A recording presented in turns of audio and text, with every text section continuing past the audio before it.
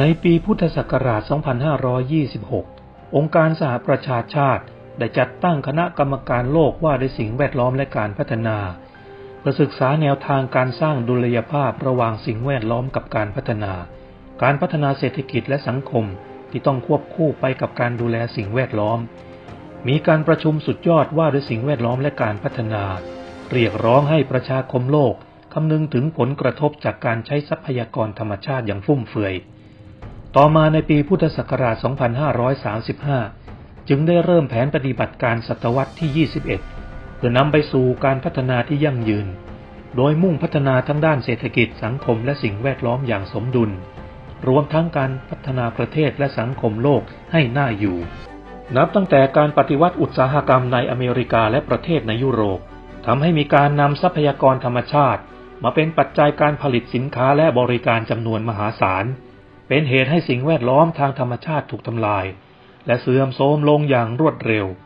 ส่งผลต่อวัฒนธรรมการบริโภค และวิถีชีวิตของคนในสังคมอย่างมากมาย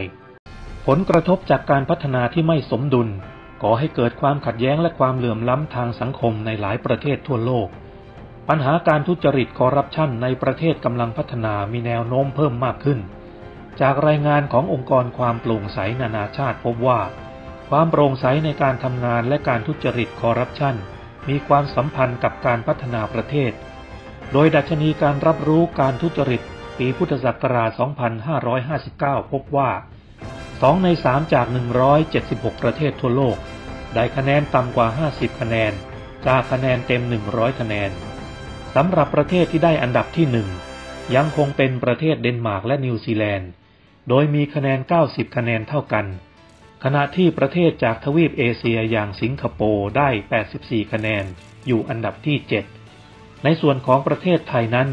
ได้ 35 คะแนน ลดลงจากปีพุทธศักราช 2558 3 คะแนน จากอันดับที่ 76 ลงมาเป็นอันดับที่ 101 จาก